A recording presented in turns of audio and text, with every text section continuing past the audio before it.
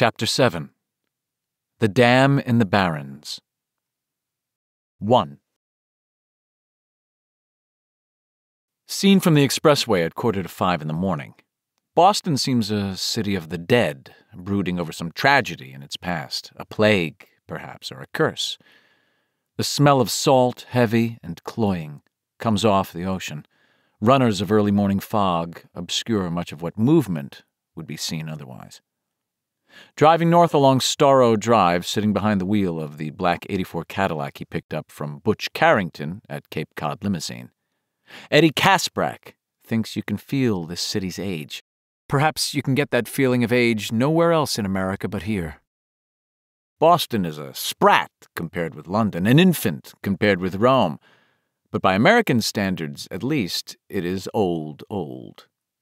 It kept its place on these low hills 300 years ago when the tea and stamp taxes were unthought of, Paul Revere and Patrick Henry unborn. Its age, its silence, and the foggy smell of the sea, all of these things make Eddie nervous. When Eddie's nervous, he reaches for his aspirator.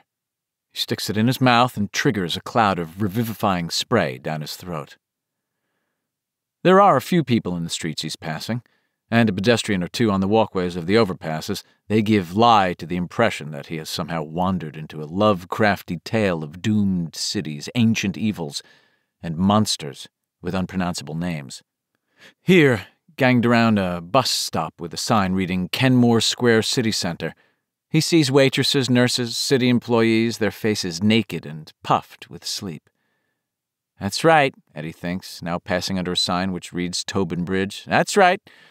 Stick to the buses. Forget the subways. The subways are a bad idea. I wouldn't go down there if I were you. Not down below. Not in the tunnels. This is a bad thought to have. If he doesn't get rid of it, he will soon be using the aspirator again. He's glad for the heavier traffic on the Tobin Bridge. He passes a monument works. Painted on the brick side is a slightly unsettling admonishment Slow down.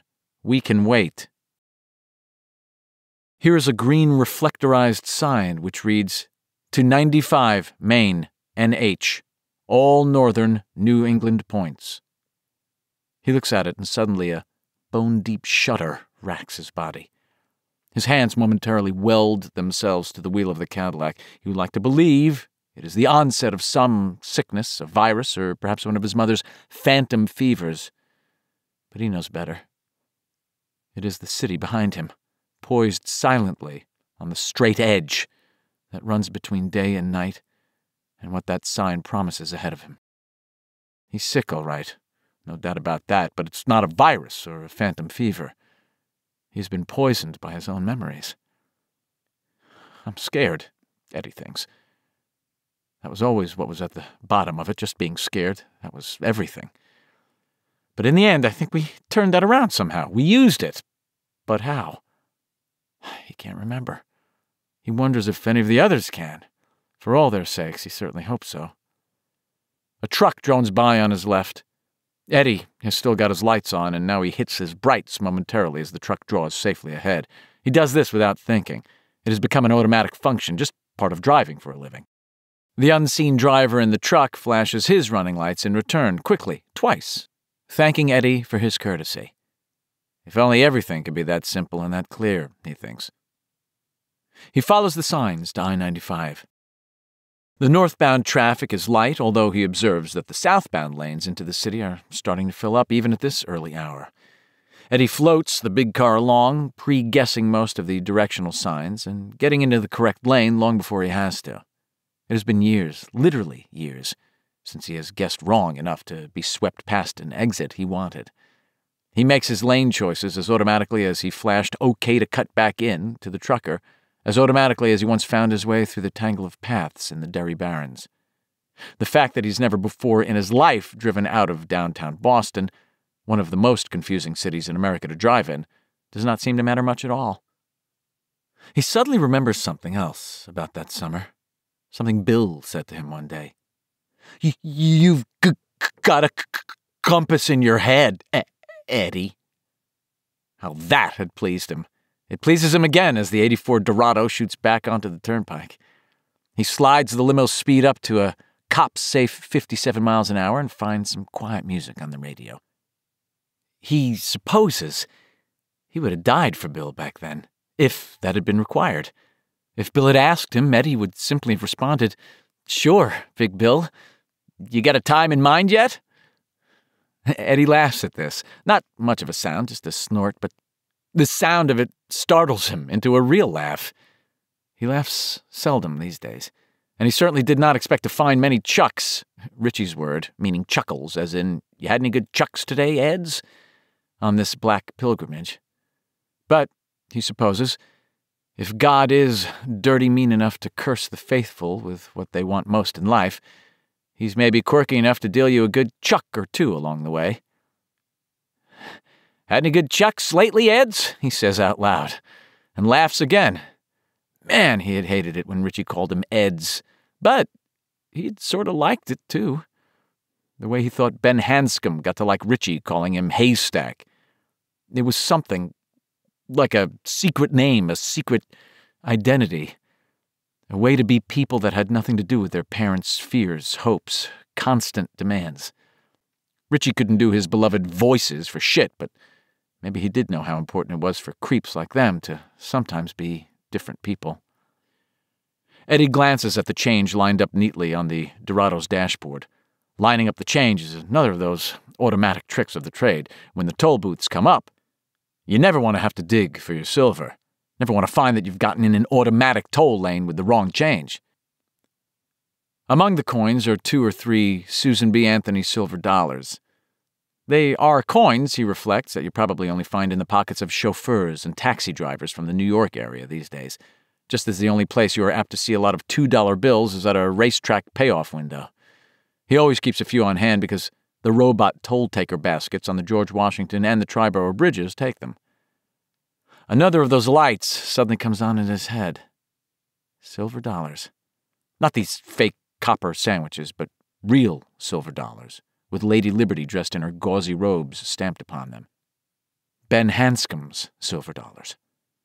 Yes, but wasn't it Bill or Ben or Beverly who once used one of those silver cartwheels to save their lives? He's not quite sure of this. In fact, not quite sure of anything. Or is it just that he doesn't want to remember? It was dark in there, he thinks suddenly. I remember that much. It was dark in there. Boston's well behind him now, and the fog is starting to burn off. Ahead is Maine, NH, all northern New England points. Derry is ahead, and there is something in Derry which should be 27 years dead and yet is somehow not. Something with as many faces as Lon Chaney. But what is it, really? Didn't they see it at the end as it really was, with all its masks cast aside? Ah, he can remember so much, but not enough. He remembers that he loved Bill Denbrough. He remembers that well enough. Bill never made fun of his asthma. Bill never called him little sissy queer boy. He loved Bill like he would have loved a big brother or a father. Bill knew stuff to do, places to go, things to see. Bill was never up against it. When you ran with Bill, you ran to beat the devil and you laughed. But you hardly ever ran out of breath. And hardly ever running out of breath was great, so fucking great, Eddie would tell the world. When you ran with Big Bill, you got your chucks every day. Sure, kid, every day, he says in a Richie Tozier voice, and laughs again. It had been Bill's idea to make the dam in the Barrens, and it was, in a way, the dam that had brought them all together. Ben Hanscom had been the one to show them how the dam could be built, and they had built it so well that they'd gotten in a lot of trouble with Mr. Nell, the cop on the beat, but it had been Bill's idea. And although all of them except Richie had seen very odd things, frightening things, in Derry since the turn of the year, it had been Bill who had first found the courage to say something out loud. That damn. That damn dam. He remembered Victor Criss. Ta ta, boys, it was a real baby dam, believe me, you're better off without it. A day later, Ben Hanscom was grinning at them, saying, We could. We could flood. We could flood out the. Two. Whole barrens if we wanted to. Bill and Eddie looked at Ben doubtfully, and then at the stuff Ben had brought along with him some boards scrounged from Mr. McKibben's backyard. But that was okay, since Mr. McKibben had probably scavenged them from someone else's. A sledgehammer, a shovel. Eh, I don't know, Eddie said, glancing at Bill. When we tried yesterday, it didn't work very good. The current kept washing our sticks away. This'll work, Ben said. He also looked to Bill for the final decision. Well, let's give it a try, Bill said. I called Richie Tozier this morning. He's gonna be uh, over later, he said. Maybe him and St- St- Stanley will want to help. Stanley who? Ben asked. Uris, Eddie said. He was still looking cautiously at Bill, who seemed somehow different today, quieter, less enthusiastic about the idea of the dam. Bill looked pale today, distant. Stanley Uris. I guess I don't know him. Does he go to Derry Elementary? He's our age, but he just finished the fourth grade, Eddie said. He started school a year late because he was sick a lot when he was a little kid. You think you took Chong yesterday? You just ought to be glad you're not Stan. Someone's always racking Stan to the dogs and back.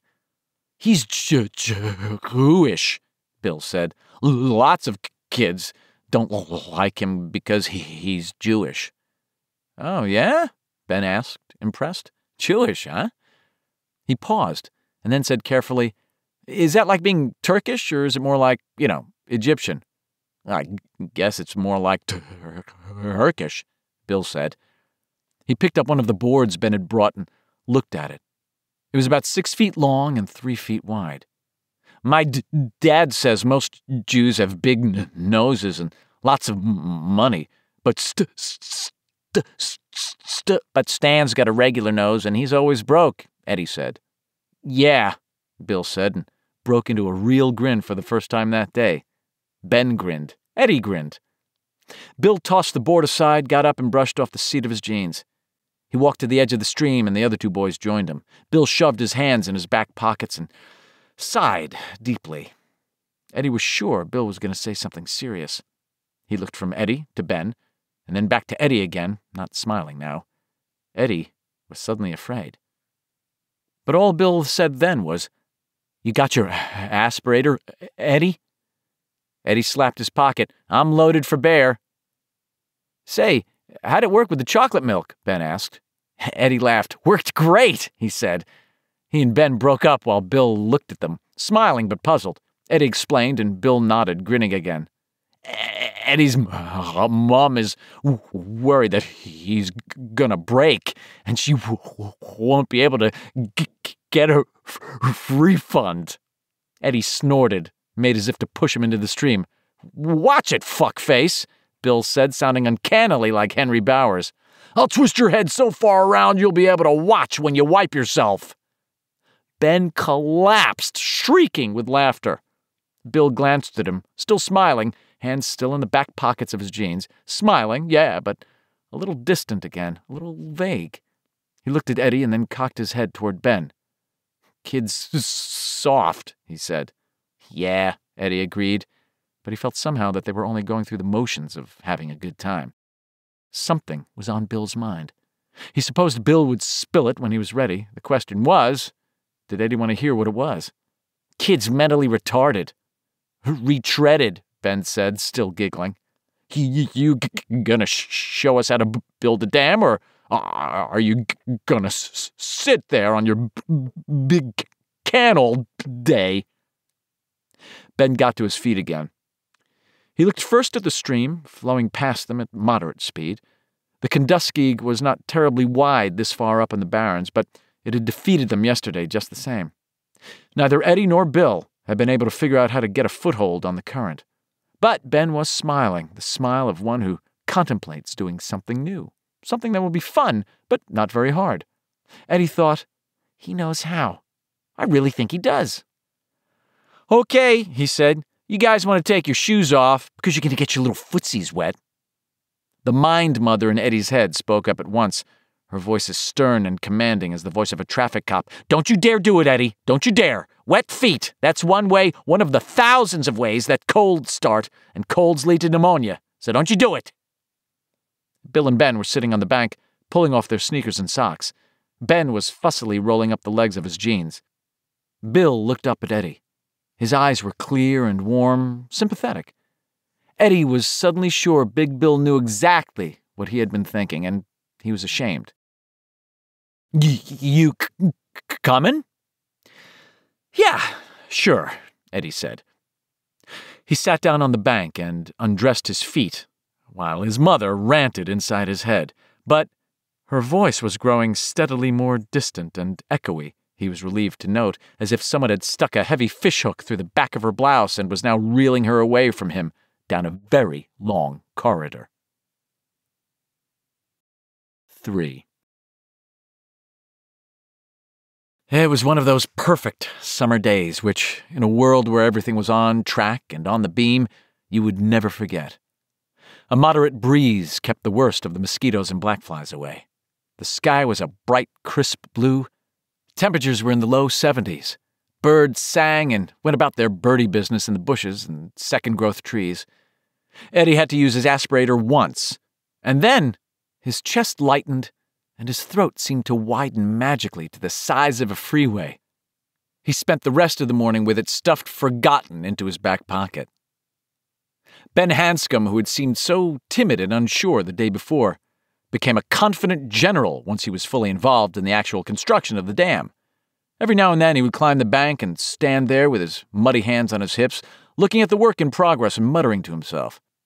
Sometimes he would run a hand through his hair, and by 11 o'clock it was standing up in crazy comical spikes. Eddie felt uncertainty at first, then a sense of glee, and finally an entirely new feeling, one that was at the same time weird, terrifying, and exhilarating. It was a feeling so alien to his usual state of being that he was not able to put a name to it until that night lying in bed and looking at the ceiling and replaying the day. Power. That was what the feeling had been. Power. It was going to work, by God. And it was going to work better than he and Bill, maybe even Ben himself, had dreamed it could. He could see Bill getting involved, too. Only a little at first, still mulling over whatever it was he had on his mind. And then, bit by bit, committing himself fully. Once or twice, he clapped Ben on one meaty shoulder and told him he was unbelievable. Ben flushed with pleasure each time. Ben got Eddie and Bill to set one of the boards across the stream and hold it as he used the sledgehammer to seat it in the stream bed. There! It's in. But you'll have to hold it or the current will just pull it loose, he told Eddie. So Eddie stood in the middle of the stream holding the board while water sluiced over its top and made his hands into wavering starfish shapes. Ben and Bill located a second board two feet downstream of the first. Ben used the sledge again to seat it and Bill held it while Ben began to fill up the space between the two boards with sandy earth from the stream bank. At first, it only washed away around the ends of the boards in gritty clouds, and Eddie didn't think it was going to work at all. But when Ben began adding rocks and muddy gook from the stream bed, the clouds of escaping silt began to diminish. In less than 20 minutes, he had created a heaped brown canal of earth and stones between the two boards in the middle of the stream. To Eddie, it looked like an optical illusion. If we had real cement, instead of just mud and rocks, they'd have to move the whole city over to the old Cape side by the middle of next week, Ben said, slinging the shovel aside at last and sitting on the bank until he got his breath back. Bill and Eddie laughed, and Ben grinned at them. When he grinned, there was a ghost of the handsome man he would become in the lines of his face. Water had begun to pile up behind the upstream board now. Eddie asked what they were going to do about the water escaping round the sides. Let it go. It doesn't matter. It doesn't? Nope. Why not? I can't explain exactly. You gotta let some out, though. How do you know? Ben shrugged. I just do, the shrug said, and Eddie was silenced. When he was rested, Ben got a third board, the thickest of the four or five he had carried laboriously across town to the Barrens, and placed it carefully against the downstream board, wedging one end firmly into the stream bed and socking the other against the board Bill had been holding, creating the strut he had put in his little drawing the day before. Okay, he said, standing back. He grinned at them. You guys should be able to let go now. The gook in between the two boards will take most of the water pressure. The strut will take the rest. Won't the water wash it away? Eddie asked. Nope.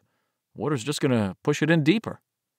And if you're wrong, we get to kill you, Bill said. That's cool, Ben said amiably. Bill and Eddie stepped back. The two boards that formed the basis of the dam creaked a little, tilted a little, and that was all. Hot shit! Eddie screamed, excited. It's great, Bill said, grinning. Yeah, Ben said. Let's eat. 4. They sat on the bank and ate, not talking much, watching the water stack up behind the dam and sluice around the ends of the boards. They had already done something to the geography of the stream banks, Eddie saw. The diverted current was cutting scalloped hollows into them. As he watched, the new course of the stream undercut the bank enough on the far side to cause a small avalanche. Upstream of the dam, the water formed a roughly circular pool, and at one place it had actually overflowed the bank. Bright, reflecting rills ran off into the grass and the underbrush. Eddie slowly began to realize what Ben had known from the first the dam was already built. The gaps between the boards and the banks were sluiceways. Ben had not been able to tell Eddie this because he did not know the word. Above the boards, the Kenduskeag had taken on a swelled look. The chuckling sound of shallow water, babbling its way over stones and gravel, was now gone. All the stones upstream of the dam were underwater. Every now and then, more sod and dirt, undercut by the widening stream, would fall into the water with a splash. Downstream of the dam, the watercourse was nearly empty.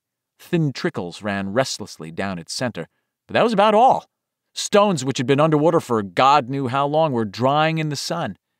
Eddie looked at these drying stones with mild wonder, and that weird other feeling.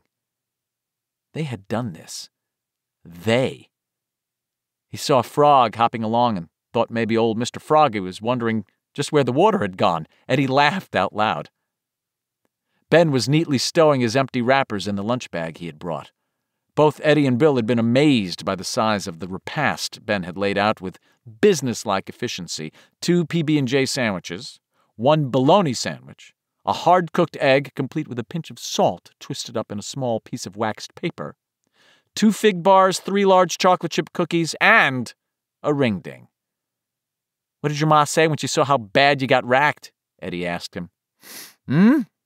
Ben looked up from the spreading pool of water behind the dam and belched gently against the back of his hand. Oh, well, I knew she'd be grocery shopping yesterday afternoon, so I was able to beat her home.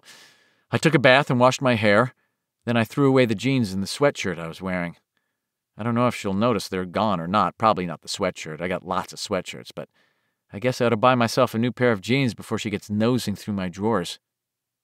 The thought of wasting his money on such a non essential item cast momentary gloom across Ben's face.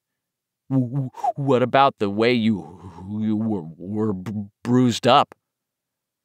I told her I was so excited to be out of school that I ran out the door and fell down the steps, Ben said, and looked both amazed and a little hurt when Eddie and Bill began laughing. Bill, who had been chowing up a piece of his mother's devil's food cake, blew out a brown jet of crumbs and then had a coughing fit. Eddie, still howling, clapped him on the back. Well, I almost did fall down the steps, Ben said. Only it was because Victor Criss pushed me, not because I was running. I'd be as hot as a tamale in a sweatshirt like that, Bill said, finishing the last bite of his cake. Ben hesitated. For a moment it seemed he would say nothing. It's better when you're fat, he said finally. Sweatshirts, I mean. Because of your gut? Eddie asked. Bill snorted. Because of your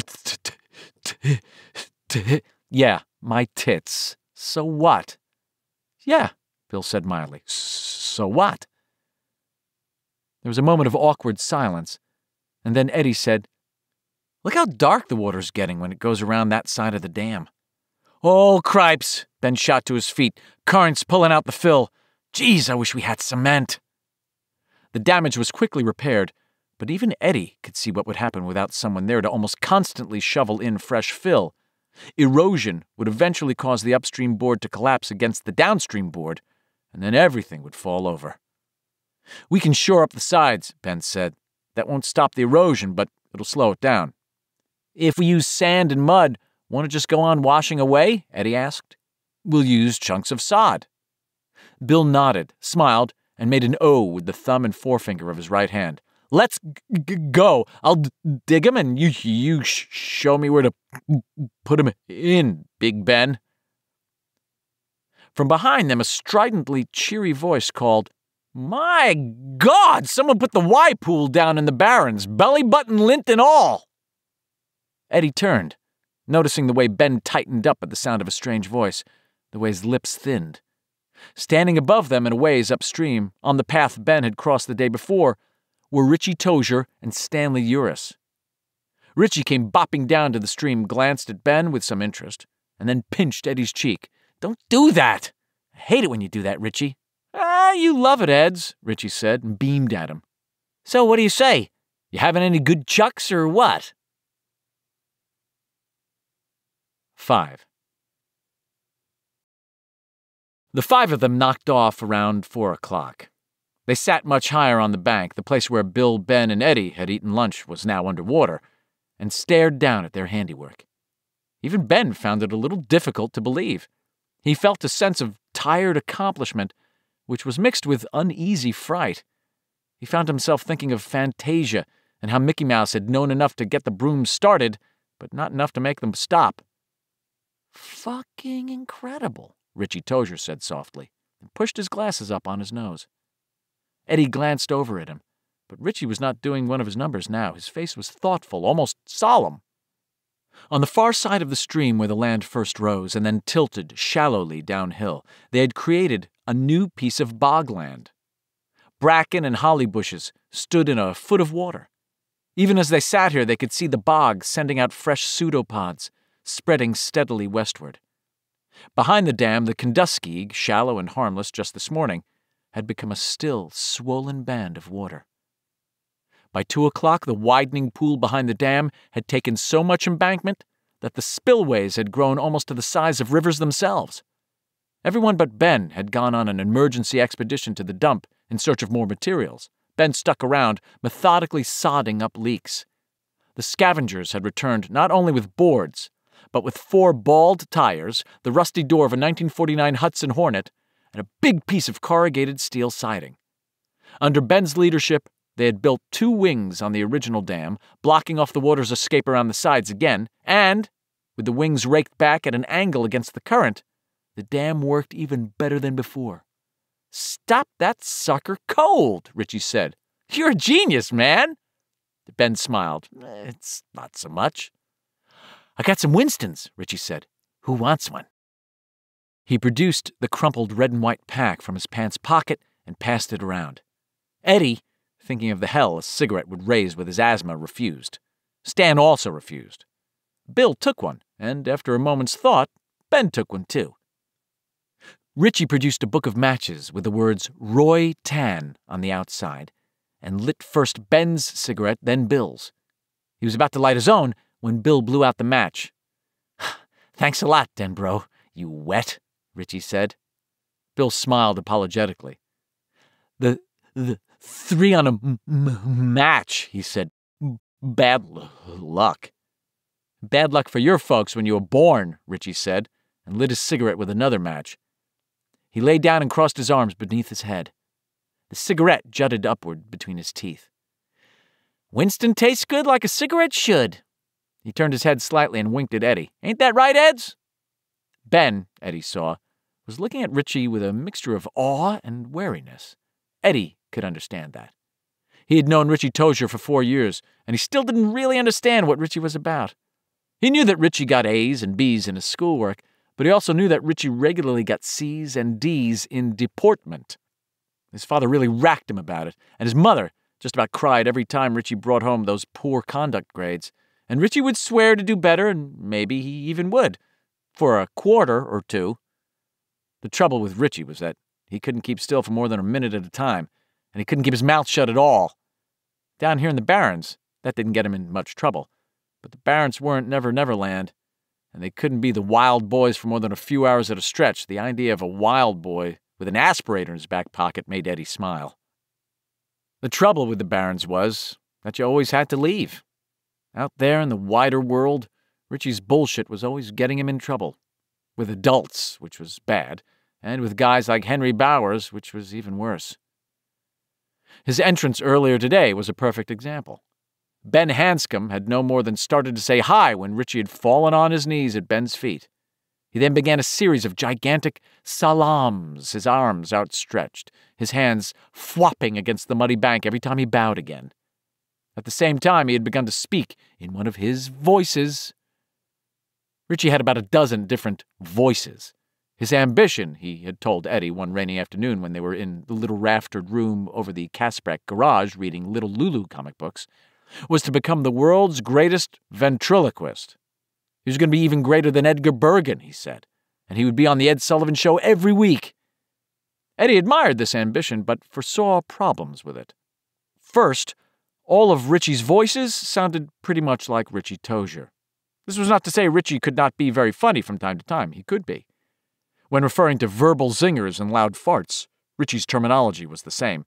He called it getting off a good one, and he got off good ones of both types frequently, usually in inappropriate company, however. Second, when Richie did ventriloquism, his lips moved, not just a little on the P and B sounds, but a lot and on all the sounds. Third, when Richie said he was going to throw his voice, it usually didn't go very far. Most of his friends were too kind or too bemused with Richie's sometimes enchanting, often exhausting charm to mention these little failings to him. Salaming frantically in front of the startled and embarrassed Ben Hanscom, Richie was speaking in what he called his nigger Jim voice. Lawks a mussy, it's be Haystack Calhoun, Richie screamed. Don't fall on me, Mr. Haystack, sir. You's gwine to cream me if you do. Lawks a mussy, lawks a mussy, three hundred pounds of swangin' meat, eighty-eight inches from tit to tit, haystack be smellin' just like a load loader panther shit.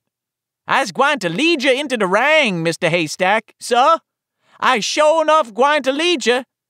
Just don't you be fallin' on this here black boy. D don't worry, Bill said. It's just Richie. He's crazy. Richie bounced to his feet. I heard that, Denbrough. You better leave me alone or I'll sic haystack here on you best part of you ran down your father's leg, Bill said. True, Richie said, but look how much good stuff was left.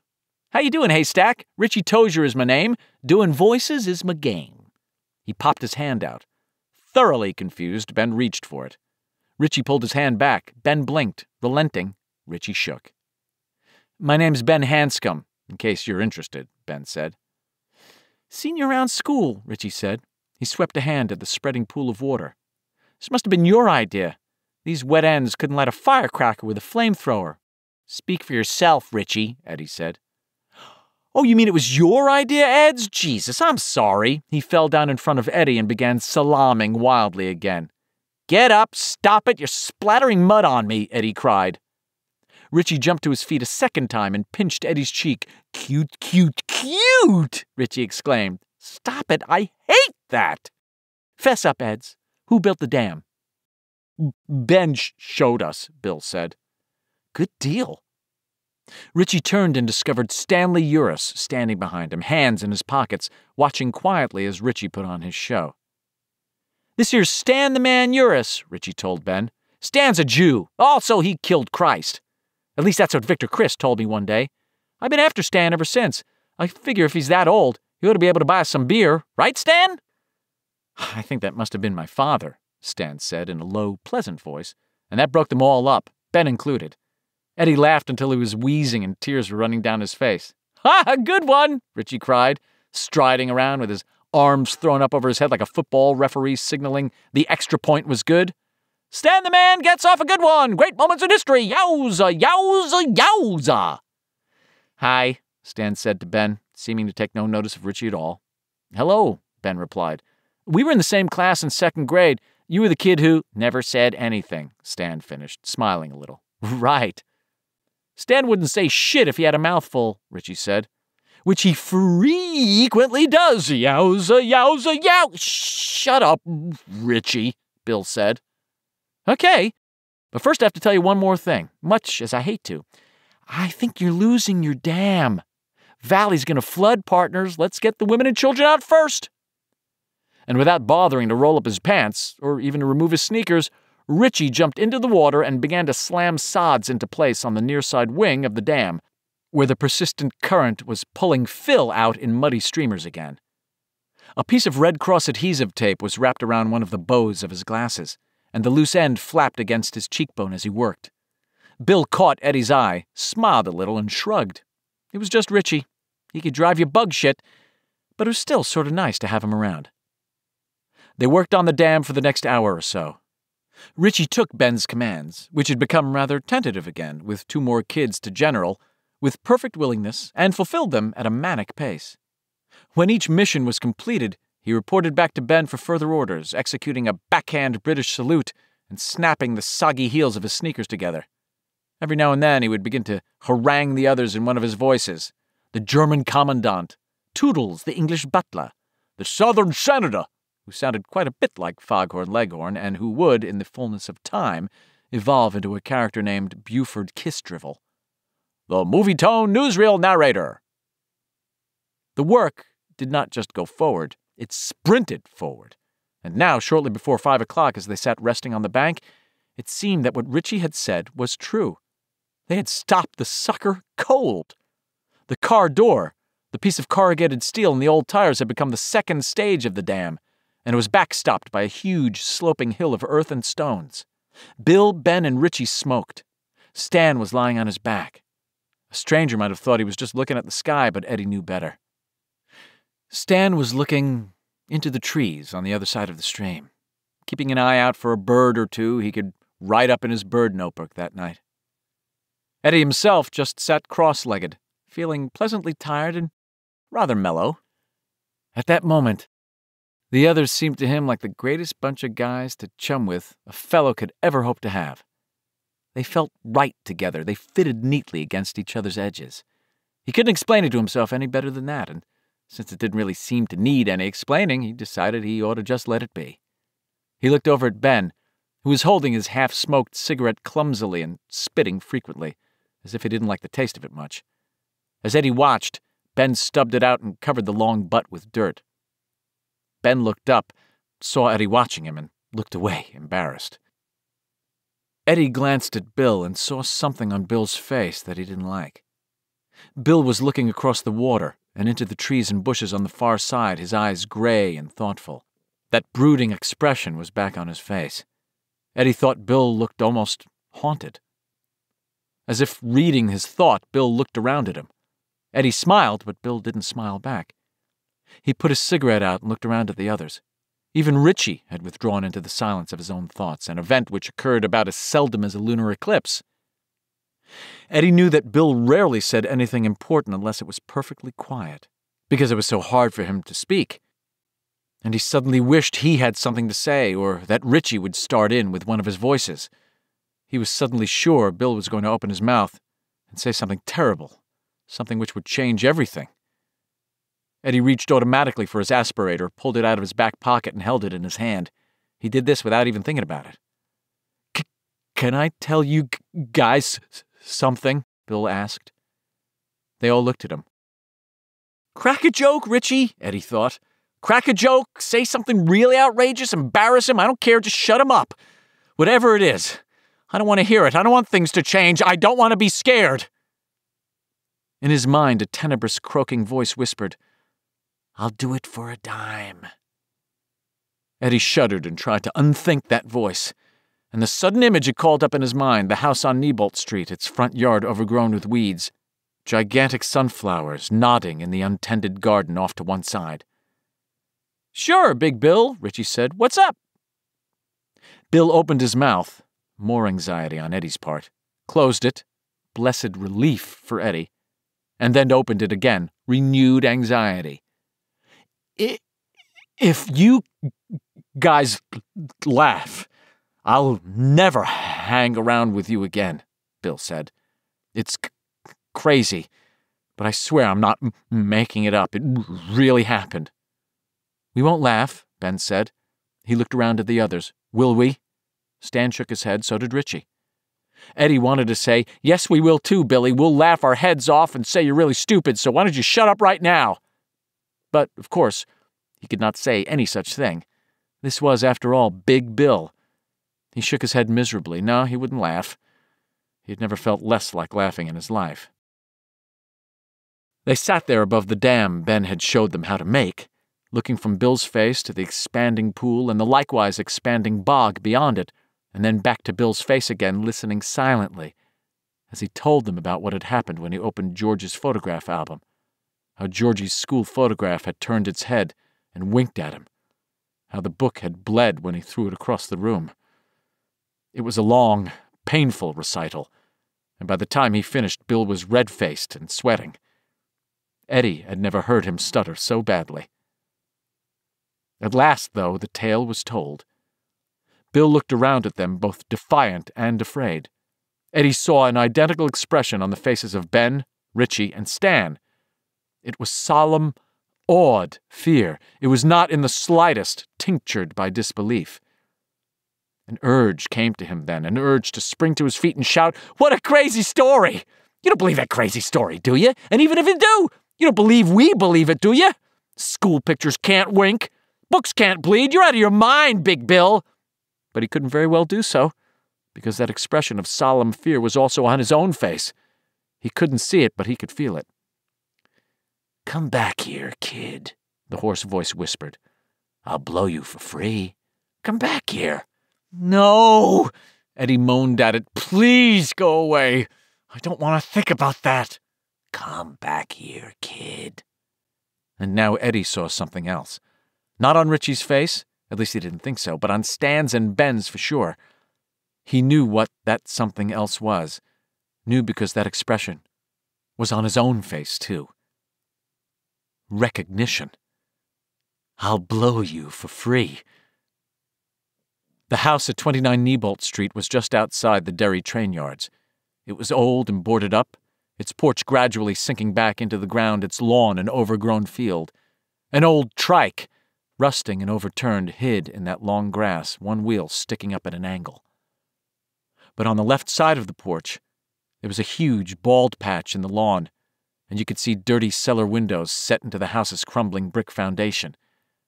It was in one of those windows that Eddie Kaspbrak first saw the face of the leper six weeks ago. 6. On Saturdays, when Eddie can find no one to play with, he often went down to the train yards. No real reason, he just liked to go out there. He would ride his bike out Witcham Street and then cut to the northwest along Route 2, where it crossed Witcham. The Neibolt Street Church School stood on the corner of Route 2 and Neibolt Street a mile or so farther on.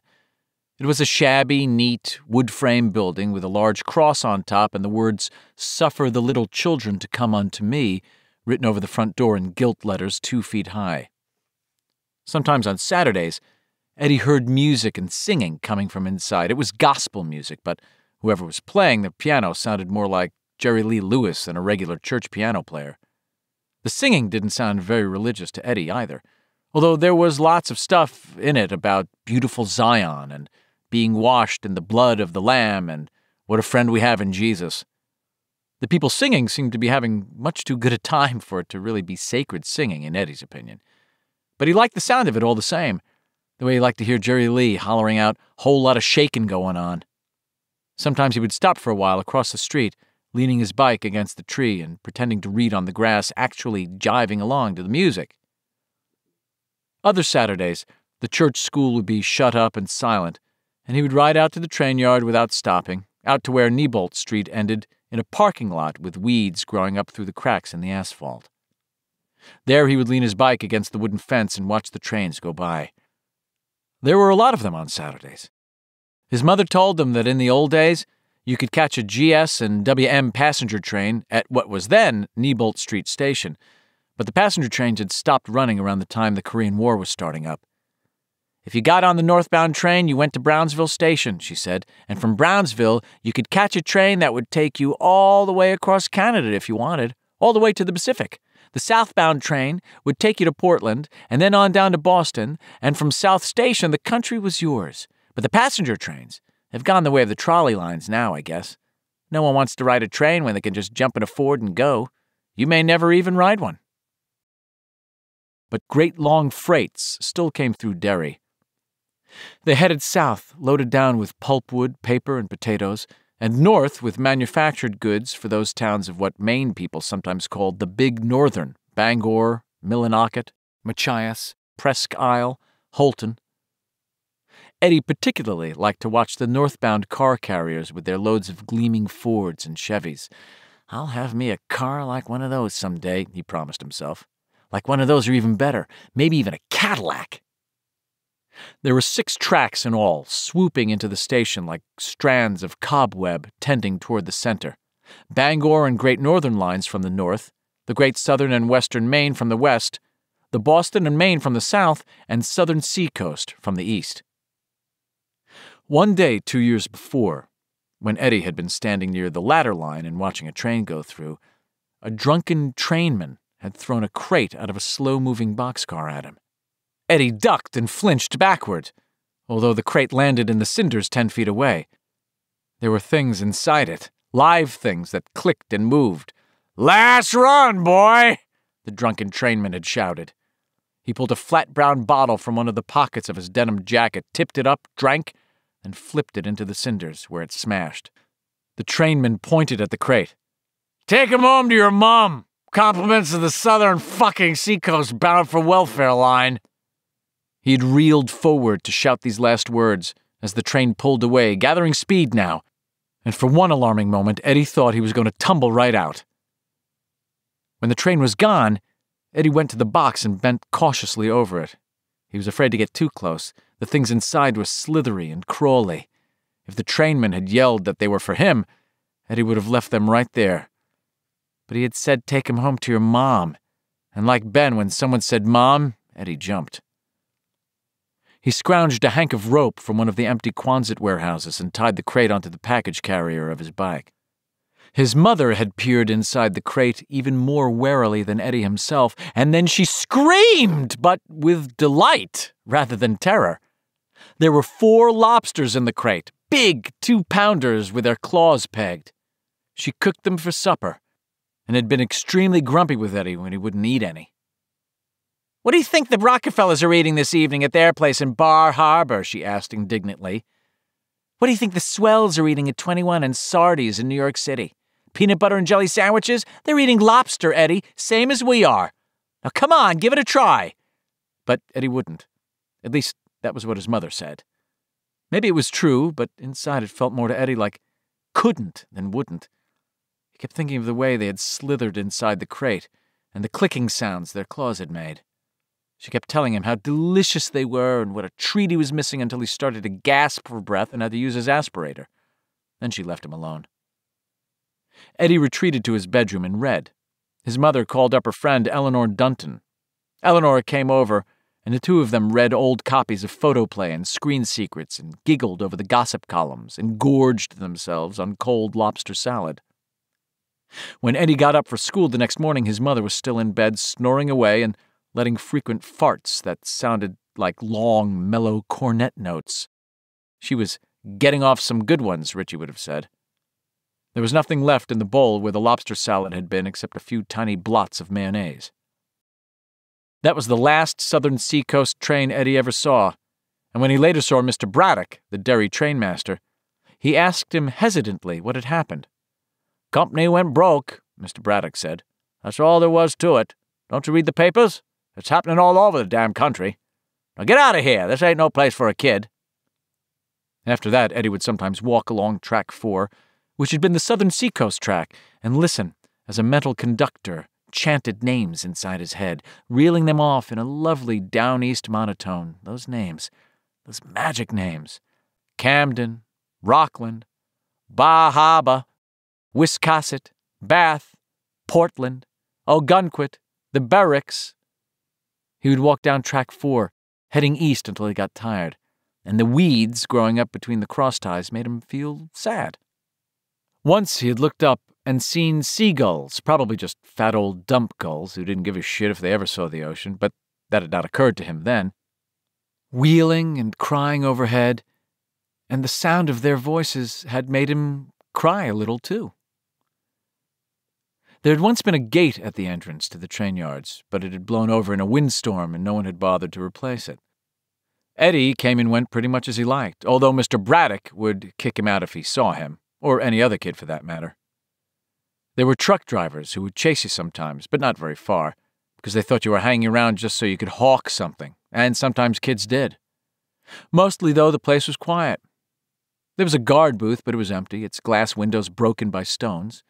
There had been no full time security service since 1950 or so. Mr. Braddock shooed the kids away by day, and a night watchman drove through four or five times a night in an old Studebaker with a searchlight mounted outside the vent window, and that was all. There were tramps and hobos sometimes, though. If anything about the train yard scared Eddie, they did. Men with unshaven cheeks and cracked skin and blisters on their hands and cold sores on their lips. They rode the rails for a while and then climbed down for a while and spent some time in Derry and then got on another train and went somewhere else. Sometimes they had missing fingers. Usually they were drunk and wanted to know if you had a cigarette. One of these fellows had crawled out from under the porch of the house at 29 Neibolt Street one day and had offered to give Eddie a blowjob for a quarter. Eddie had backed away, his skin like ice, his mouth as dry as lint balls. One of the hobo's nostrils had been eaten away. You could look right into the red, scabby channel. I don't have a quarter, Eddie said, backing toward his bike. I'll do it for a dime, the hobo croaked, coming toward him. He was wearing old green flannel pants. Yellow puke was stiffening across the lap. He unzipped his fly and reached inside. He was trying to grin. His nose was a red horror. I. I don't have a dime either, Eddie said, and suddenly thought, oh my God, he's got leprosy. If he touches me, I'll catch it too. His control snapped and he ran. He heard the hobo break into a shuffling run behind him, his old string tied shoes slapping and flapping across the riotous lawn of the empty salt box house. Come back here, kid. I'll blow you for free. Come back here. Eddie had leaped on his bike, wheezing now, feeling his throat closing up to a pinhole. His chest had taken on weight. He hit the pedals and was just picking up speed when one of the hobo's hands struck the package carrier. The bike shimmied. Eddie looked over his shoulder and saw the hobo running along behind the rear wheel, gaining, his lips drawn back from the black stumps of his teeth in an expression which might have been either desperation or fury. In spite of the stones lying on his chest, Eddie had pedaled even faster, expecting that one of the hobo's scab crusted hands would close over his arm at any moment, pulling him from his Raleigh and dumping him in the ditch, where God knew what would happen to him. He hadn't dared look around until he had flashed past the church school and through the Route 2 intersection. The bow was gone. Eddie held this terrible story inside him for almost a week, and then confided it to Richie Tozier and Bill Denbrough one day when they were reading comics over the garage. He didn't have leprosy, you dummy, Richie said. He had the sif. Eddie looked at Bill to see if Richie was ribbing him. He had never heard of a disease called the sift before. It sounded like something Richie might have made up. Is there such a thing as the sift, Bill? Bill nodded gravely. Only it's the s-s-sif, not the sift. It's short for syphilis. What's that? It's a disease you get from fucking, Richie said. You know about fucking, don't you, Eds? Sure, Eddie said. He hoped he wasn't blushing. He knew that when you got older, stuff came out of your penis when it was hard. Vincent Boogers Taliendo had filled him in on the rest one day at school. What you did when you fucked, according to Boogers, was you rubbed your cock against a girl's stomach until it got hard, your cock, not the girl's stomach. And then you rubbed some more until you started to get the feeling. When Eddie asked what that meant, Boogers had only shaken his head in a mysterious way. Booger said that you couldn't describe it, but you'd know it as soon as you got it. He said you could practice by lying in the bathtub and rubbing your cock with ivory soap. Eddie had tried this, but the only feeling he got was the need to urinate after a while. Anyway, Boogers went on, after you got the feeling, this stuff came out of your penis. Most kids called it cum, Booger said, but his big brother had told him that the really scientific word for it was jism. And when you got the feeling, you had to grab your cock and aim it real fast so you could shoot the jism into the girl's belly button as soon as it came out. It went down into her stomach and made a baby there. Do girls like that? Eddie had asked Boogers Taliendo. He himself was sort of appalled. I guess they must, Boogers had replied, looking mystified himself. Now listen up, Eds, Richie said, because there may be questions later. Some women have got this disease, some men too, but mostly it's women. A guy can get it from a woman, or another guy if they're queer, Bill added. Right. The important thing is you get the sif from screwing someone who's already got it. What does it do? Eddie asked. Makes you rot, Richie said simply. Eddie stared at him, horrified. It's bad, I know, but it's true, Richie said. Your nose is the first thing to go. Some guys with the sif, their noses fall right off. Then their cocks. Please, Bill said. I just ate. Hey, man, this is science, Richie said. So, what's the difference between leprosy and the sif? Eddie asked. You don't get leprosy from fucking, Richie said promptly and then went off into a gale of laughter that left both Bill and Eddie mystified. 7. Following that day, the house at 29 Neibolt Street had taken on a kind of glow in Eddie's imagination. Looking at its weedy yard and its slumped porch and the boards nailed across its windows, he would feel an unhealthy fascination take hold of him. And six weeks ago, He'd parked his bike on the gravelly verge of the street, the sidewalk ended four houses farther back, and walked across the lawn toward the porch of that house. His heart had been beating hard in his chest, and his mouth had that dry taste again, listening to Bill's story of the dreadful picture. He knew that what he had felt when approaching that house was about the same as what Bill had felt going into George's room. He did not feel as if he was in control of himself. He felt pushed, it did not seem as if his feet were moving. Instead, the house itself, brooding and silent, seemed to draw closer to where he stood. Faintly, he could hear a diesel engine in the train yard, that and the liquid metallic slam of couplings being made. They were shunting some cars onto sidings, picking up others, making a train. His hand gripped his aspirator, but, oddly, his asthma had not closed down as it had on the day he fled from the hobo with the rotted nose. There was only that sense of standing still and watching the house slide stealthily toward him, as if on a hidden track. Eddie looked under the porch. There was no one there. It was not really surprising this was spring and hobos showed up most frequently in Derry from late September to early November. During those six weeks or so, a man could pick up day work on one of the outlying farms if he looked even half decent. There were potatoes and apples to pick, snow fence to string, barn and shed roofs which needed to be patched before December came along, whistling up winter. No hobos under the porch, but plenty of sign they had been there. Empty beer cans, empty beer bottles, empty liquor bottles. A dirt crusted blanket lay against the brick foundation like a dead dog. There were drifts of crumpled newspapers and one old shoe and a smell like garbage. There were thick layers of old leaves under there. Not wanting to do it, but unable to help himself, Eddie had crawled under the porch. He could feel his heartbeat slamming in his head now, driving white spots of light across his field of vision. The smell was worse underneath booze and sweat and the dark brown perfume of decaying leaves. The old leaves didn't even crackle under his hands and knees. They and the old newspapers only sighed. I'm a hobo, Eddie thought incoherently. I'm a hobo and I ride the rods, that's what I do. Ain't got no money, ain't got no home, but I got me a bottle and a dollar and a place to sleep.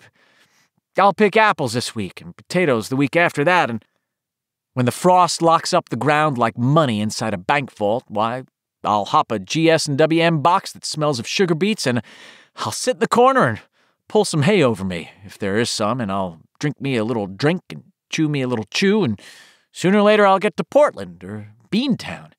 If I don't get busted by a railroad security dick, I'll hop one of those Bama Star boxes and head down south.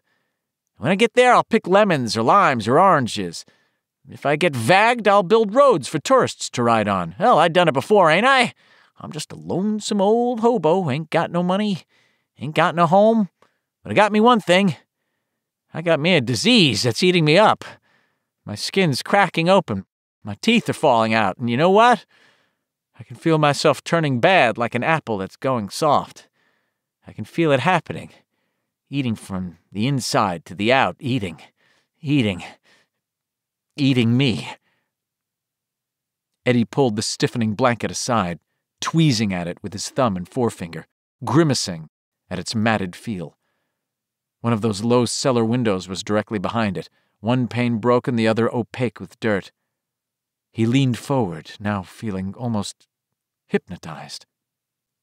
He leaned closer to the window, closer to the cellar darkness, breathing in that smell of age and must and dry rot, closer and closer to the black, and surely the leper would have caught him if his asthma hadn't picked that exact moment to kick up.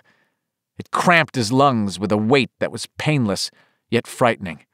His breath at once took on a familiar, hateful, whistling sound. He drew back. And that was when the face appeared. Its coming was so sudden, so startling, and yet, at the same time, so expected, that Eddie could not have screamed even if he hadn't been having an asthma attack. His eyes bulged, his mouth creaked open. It was not the hobo with the flayed nose, but there were resemblances, terrible resemblances. And yet, this thing could not be human. Nothing could be so eaten up and remain alive.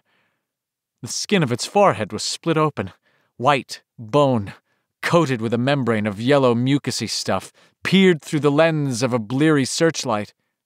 The nose was a bridge of raw gristle above two red flaring channels. One eye was a gleeful blue.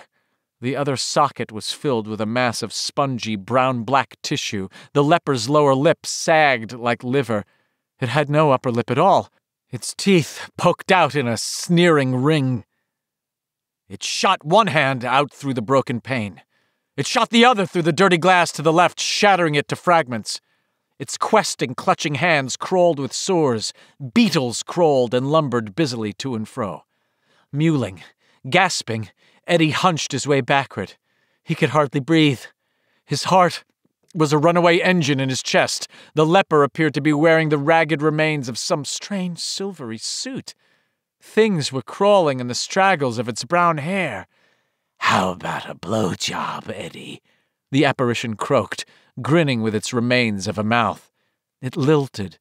Bobby does it for a dime. He will do it any time. Fifteen cents for overtime. It winked. That's me, Eddie. Bob Gray. And now that we've been properly introduced, one of its hands splatted against Eddie's right shoulder.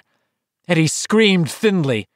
That's all right, the leper said, and Eddie saw with dreamlike terror that it was crawling out of the window. The bony shield behind its peeling forehead snapped the thin wooden strip between the two panes. Its hands clawed through the leafy, mulchy earth, the silver shoulders of its suit, costume, whatever it was, began to push through the gap.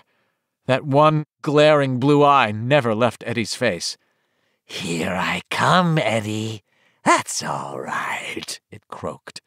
You like it down here with us. Some of your friends are down here. Its hand reached out again, and in some corner of his panic maddened, screaming mind, Eddie was suddenly, coldly sure that if that thing touched his bare skin, he would begin to rot too. The thought broke his paralysis. He skittered backward on his hands and knees, then turned and lunged for the far end of the porch. Sunlight, falling in narrow, dusty beams through the cracks between the porch boards, striped his face from moment to moment. His head pushed through the dusty cobwebs that settled in his hair. He looked back over his shoulder and saw that the leper was halfway out. It won't do you any good to run, Eddie, it called. Eddie had reached the far end of the porch. There was a latticework skirt there, the sun shone through it, printing diamonds of light on his cheeks and forehead. He lowered his head and slammed into it with no hesitation at all, tearing the entire skirt free with a scream of rusted halfpenny nails. There was a tangle of rose bushes beyond, and Eddie tore through these, stumbling to his feet as he did so, not feeling the thorns that scrawled shallow cuts along his arms and cheeks and neck. He turned and backed away on buckling legs, pulling his aspirator out of his pocket, triggering it. Surely it hadn't really happened. He'd been thinking about that hobo, and his mind had, well, had just put on a show, shown him a movie, a horror movie, like one of those Saturday matinee pictures with Frankenstein and Wolfman that they had sometimes at the Bijou or the Gem or the Aladdin. Sure, that was all. He had scared himself. What an asshole!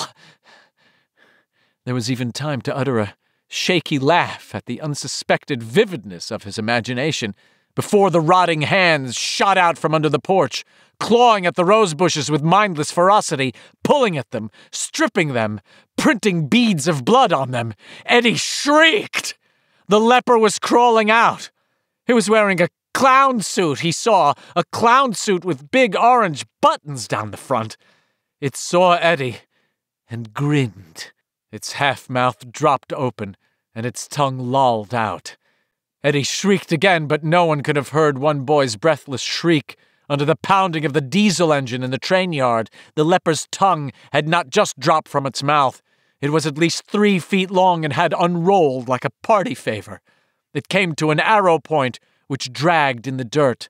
Foam, thick, sticky, and yellowish, coursed along it. Bugs crawled over it.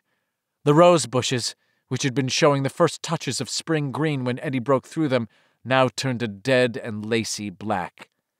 Blow job, the leper whispered, and tottered to its feet. Eddie raced for his bike.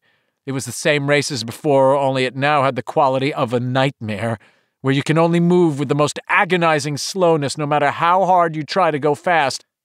And in those dreams, didn't you always hear or feel something, some it, gaining on you? Didn't you always smell its stinking breath, as Eddie was smelling it now? For a moment, he felt a wild hope. Perhaps this really was a nightmare. Perhaps he would awake in his own bed, bathed in sweat, shaking, maybe even crying, but alive, safe. Then he pushed the thought away. Its charm was deadly, its comfort fatal. He did not try to mount his bike immediately. He ran with it instead, head down, pushing the handlebars. He felt as if he was drowning, not in water, but inside his own chest. Blow job, the leper whispered again. Come back any time, Eddie. Bring your friends. Its rotting fingers seemed to touch the back of his neck. But perhaps that was only a dangling strand of cobweb from under the porch, caught in his hair and brushing against his shrinking flesh. Eddie leaped onto his bike and pedaled away, not caring that his throat had closed up tight as Tilly again, not giving two sucks for his asthma, not looking back. He didn't look back until he was almost home, and of course there was nothing behind him when he finally did but two kids headed over to the park to play ball. That night, lying straight as a poker in bed, one hand folded tightly around his aspirator, looking into the shadows. He heard the leper whisper, It won't do you any good to run, Eddie. 8.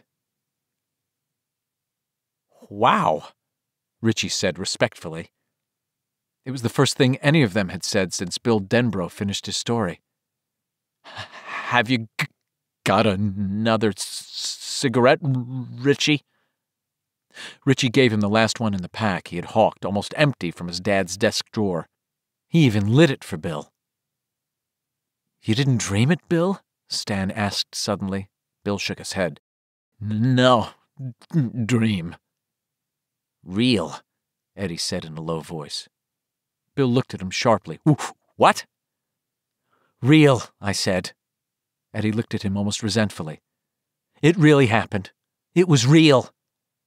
And before he could stop himself, before he even knew he was going to do it, Eddie found himself telling the story of the leper that had come crawling out of the basement at 29 Neibolt Street. Halfway through the telling, he began to gasp and had to use his aspirator.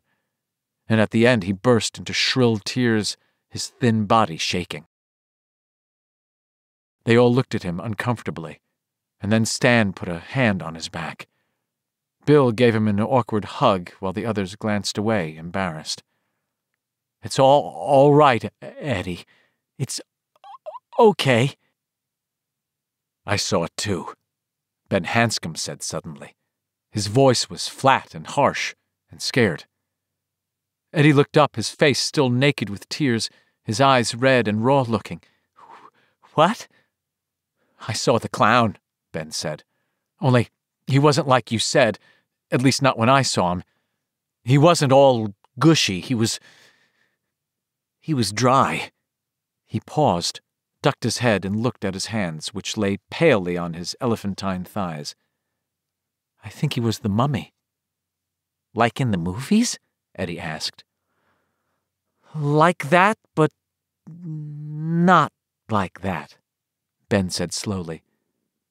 In the movies, he looks fake. It's scary, but you can tell it's a put up job, you know?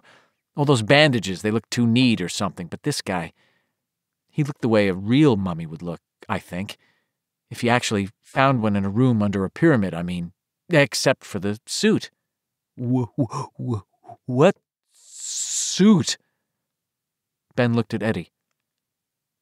A silver suit with big orange buttons down the front. Eddie's mouth dropped open. He shut it and said, If you're kidding, say so. I still. I still dream about that guy under the porch. It's not a joke, Ben said, and began to tell the story. He told it slowly, beginning with his volunteering to help Mrs. Douglas count and store books, and ending with his own bad dreams. He spoke slowly, not looking at the others. He spoke as if deeply ashamed of his own behavior. He didn't raise his head again until the story was over. You must have dreamed it, Richie said finally. He saw Ben wince and hurried on. Now, don't take it personal, Big Ben, but you gotta see that balloons can't, like, float against the wind. Pictures can't wink either, Ben said. Richie looked from Ben to Bill, troubled. Accusing Ben of dreaming awake was one thing. Accusing Bill was something else. Bill was their leader, the guy they all looked up to. No one said so out loud, no one needed to. But Bill was the idea man, the guy who could think of something to do on a boring day, the guy who remembered games the others had forgotten and in some odd way they all sensed something comfortably adult about Bill. Perhaps it was a sense of accountability, a feeling that Bill would take the responsibility if responsibility needed to be taken. The truth was, Richie believed Bill's story, crazy as it was, and perhaps he didn't want to believe Ben's, or Eddie's for that matter. Nothing like that ever happened to you, huh? Eddie asked Richie. Richie paused, began to say something, shook his head, paused again, then said, Scariest thing I seen lately was Mark Penderless taking a leak in McCarron Park. Ugliest hogger you ever saw. Ben said, What about you, Stan? No, Stan said quickly and looked somewhere else. His small face was pale, his lips pressed together so tightly they were white. W- was there s- something, Stan? Bill asked. No, I told you. Stan got to his feet and walked to the embankment, hands in his pockets. He stood watching the water course over the top of the original dam and pile up behind the second water gate. Come on now, Stanley, Richie said in a shrill falsetto. This was another of his voices, Granny Grunt. When speaking in his Granny Grunt voice, Richie would hobble around with one fist against the small of his back and cackle a lot. He still, however, sounded more like Richie Tozier than anyone else. Fess up, Stanley. Tell your old granny about the bad clown, and I'll give you a chocolate chip cookie. You just tell. Shut up! Stan yelled suddenly, whirling on Richie, who fell back a step or two, astonished. Just shut up! Yowza, boss, Richie said, and sat down. He looked at Stan Uris mistrustfully. Bright spots of color flamed in Stan's cheeks, but he still looked more scared than mad. It's okay, Eddie said quietly. Never mind, Stan. It wasn't a clown, Stanley said, His eyes flicked from one of them to the next, to the next, to the next. He seemed to struggle with himself. You, you, you can tell, Bill said, also speaking quietly. We did. It wasn't a clown. It was. Which was when the carrying, whiskey roughened tones of Mr. Nell interrupted, making them all jump as if they had been shot. Jesus Christ on a jumped up chariot driven crotch! Look at this mess! Jesus Christ!